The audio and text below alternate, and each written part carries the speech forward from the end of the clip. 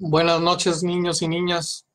Tenía un rato que quería yo hacer este video desde el año pasado que fueron anunciadas las cámaras del sistema Z.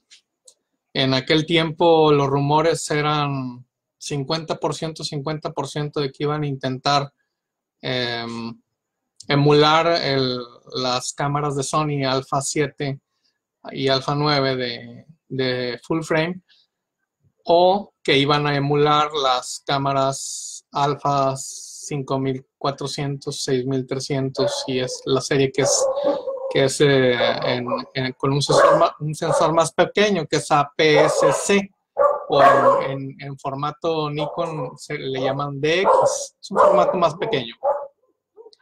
Entonces, este, por aquel tiempo eh, tuvimos la posibilidad de de tener algo de recursos para, para optar por dos cámaras y estuvimos esperando el anuncio de Nikon y cuando vimos que, que la decisión fue full frame, pues quedé decepcionado. Porque comienzan una nueva edición de las cámaras sin espejo eh, después de un gran fracaso de la Nikon One, que fue eh, con un sensor de una pulgada, que ellos definen una pulgada en el sensor como 14 milímetros, no sé por qué, no estoy seguro por qué, pero son 14 milímetros de, de diámetro transversal y fue un fracaso. Y luego comienzan a experimentar, a querer competir con sistemas de enfoque nuevos, con prácticamente todo nuevo, eh, eh, visor electrónico y la verdad a mí para mí el visor electrónico hubiera sido la maravilla, la mejor maravilla tecnológica en, el desarrollo de las cámaras por mi problema visual.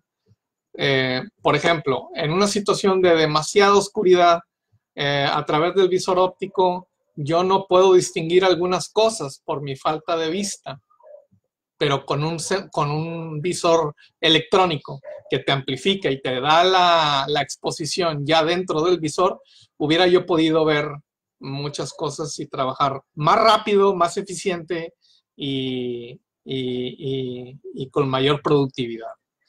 Pero al meter cámaras de 3 mil dólares y 2 mil, 3 mil 500 o no sé cuánto cuesta la Z7, pues prácticamente mataron esas esperanzas. Ahora está diciendo el director de Nikon, es que nosotros estamos escuchando al cliente y el cliente nos está pidiendo una, una cámara en el sistema Z que sea con un sensor APS-C.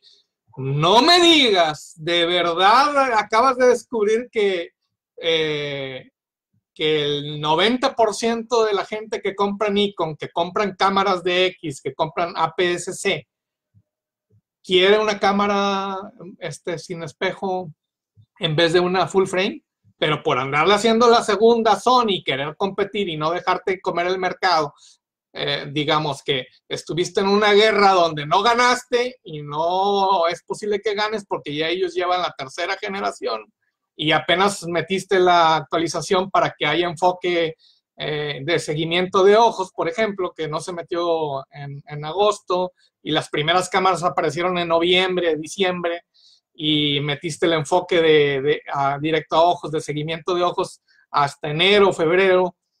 Eso va, va muy atrasado, es una guerra que es un maratón, vaya, lo vas a ganar hasta el final. Era más fácil experimentar con cámaras APS-C, meter una, la, la, más económica o una intermedia parece que ahora hay la intención, pero yo, no es demasiado tarde, va a llegar ya quizás en, a mediados de año, ya cuando tenemos la generación 7200 de, de, de, Sony, que son cámaras muy buenas y que estuve a punto de comprar y cambiar mi sistema de, de Nikon a, a, Sony. Fue una, una muy mala decisión, muy, muy, muy mala decisión. O sea, no, es, no se trata de competir por el full frame nada más porque es full frame, ¿no? o sea, 35 milímetros. Se trata de competir por un mercado, por un negocio. Y si tu 90% de las ventas está, representado por las cámaras de X o de sensores pequeños, ¿para qué te metes primero en lo que vendes menos. Ahorita resulta que estás vendiendo menos la Z7 que la Z6. Pues sí, claro, está carísima. ¿Cómo no la vas a vender menos? Entonces, esto es un mensaje para todos mis amigos, este, los que manejan Sony, Nikon, y para Nikon. Escuchen, escuchen bien. Fue una regazón haber metido primero mirrorless eh, semiprofesionales este, en 35 milímetros, para luego estar experimentando y a ver si, a ver si pega y, y, que no nos vayan a ganar. Las Olimpiadas ya vienen, creo que en, en, el 2022, tienen que meter la, la, la, la D6 y, y, si no tienen lista la tecnología, eh, eh, van a quedar muy mal.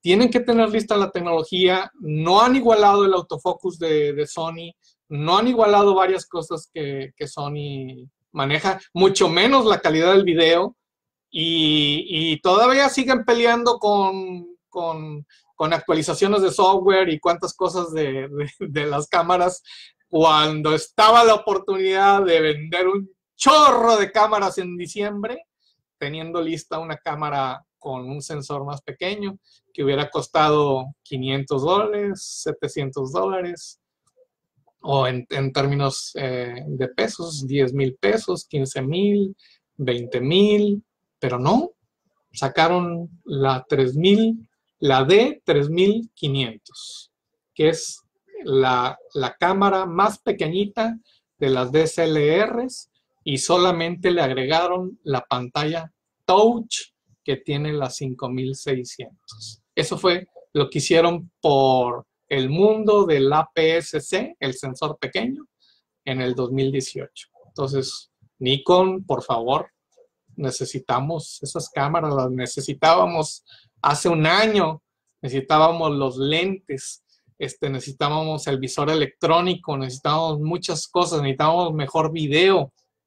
Se están atrasando y mientras tanto, Canon y Sony siguen ganando terreno, al ratito serán tercer lugar tercer lugar en ventas de DSLRs, tercer lugar, no se diga, de, de cámaras sin espejo, mirrorless.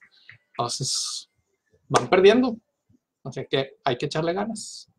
Eso es un comunicado también para todos ustedes eh, que planee comprar. Eh, alguien me comentó por ah, un dato interesante. Alguien me comentó que había manera de montar los lentes Nikon en la Sony. Sí, sí hay manera de montar pero hay muchas fallas, hay todavía muchos problemas de compatibilidad, cámaras que dejan de funcionar, lentes que se echan a perder. Entonces, no lo hagan, todavía no es seguro hacer una combinación de ese tipo. Saludos, hasta luego.